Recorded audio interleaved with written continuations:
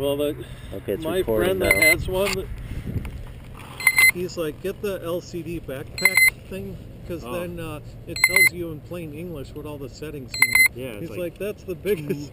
three symbol. It's like, what the fuck? You guys make this any fucking harder? And if a photographer's telling me that it's weird, Yeah, it's weird. yeah, no, it is. Yeah, that's a nice thing. I'm glad they changed that in the latest one. Yeah, they just they sold. I think you told me they have a new one out now, don't they? It's like two weeks after I'm on this one. Yeah, I know. I was the same boat.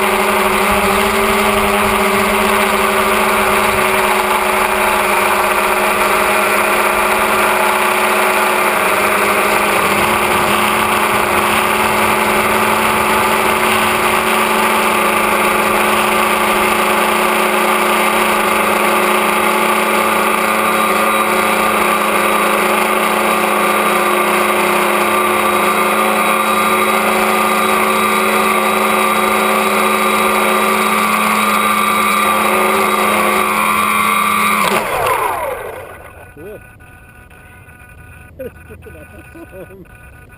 What size props are those? Those are a little smaller than he started with, so he said try to make them smaller. Those are uh, 9 by 5s. And I, I, everybody else likes the slow fly props, Yeah, but I like these direct drive props way better. yeah. Who makes those? Were they APC then? GWS, Okay. yeah.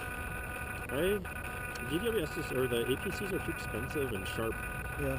Like if I hit myself with a plane with one of these on, it doesn't do anything. hmm An APC slice you out. Disarm. I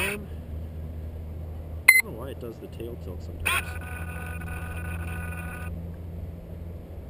Oh, impressive. Well, it's, it'll be cool to see the footage. Let's see if it's still running. Oh yeah, it is. Okay, good. So now I hit shutter,